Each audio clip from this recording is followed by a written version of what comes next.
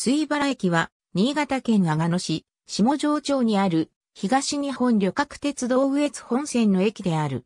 相対式ホーム2面2線を有する地上駅。両ホームは、古線橋で連絡している。古線橋は2つに仕切られており、新津より半分が東西自由通路となっている。列車の行き違いがない場合は両方向の列車とも駅舎に面する1番線から発着する。2番線は以前、島式ホームであり、さらに3番線の外側には数本の側線が存在したが、現在は指導などに転用されている。かつては正面口側に5方に貨物ホーム、西口側に山崎ヒューム間工場専用線が存在した。平日、土曜日のみ、新津駅と当駅を結ぶ区間列車も一往復設定されている。JR 新潟ビジネスが受託する業務委託駅で新津駅が当駅を管理している。駅舎内にはみどりの窓口、自動券売機、簡易 Suica 改札機と待合室、自動販売機、トイレなどがある。かつては売店もあった。一番線ホーム上には地元の名物である白鳥の剥製が展示されている。駅前広場は都市計画決定されたものの未整備の状況である。なお、送迎車待機用の駐車場や無料のパークライド駐車場が整備されている。JR 東日本によると、2020年度の1日平均乗車人員は700人である。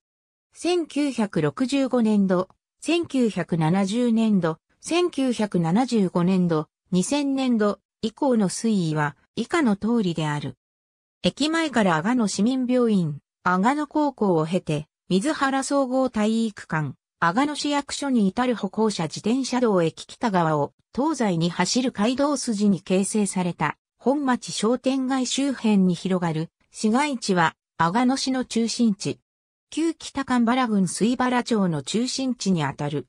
また、久子湖や五島温泉郷といった観光地も周辺に存在する。新潟駅発着の路線などが発着する、新潟交通観光バス、水原バス停、毎時1本以上運行されており、列車よりも本数は多い。新潟交通グループ、水原バス停と市営バス、五島タクシー前バス停は、同位置にある、当駅を含む我が野市と新潟都市圏の中心である、新潟市中央区を結ぶ交通手段は、鉄道とバスで競合しており、2002年の第3回新潟都市圏パーソントリップ調査では鉄道12%、バス6%となっている。駅前には阿賀野市営バスの水原駅前などのバス停がある。市内を運行する11系統のうち10系統が水原駅付近を経由しているが最寄り停留所となっている。詳細は阿賀野市営バスを参照。駅を出て左に曲がった徒歩3分のところには、新潟交通グループの水原バス停がある。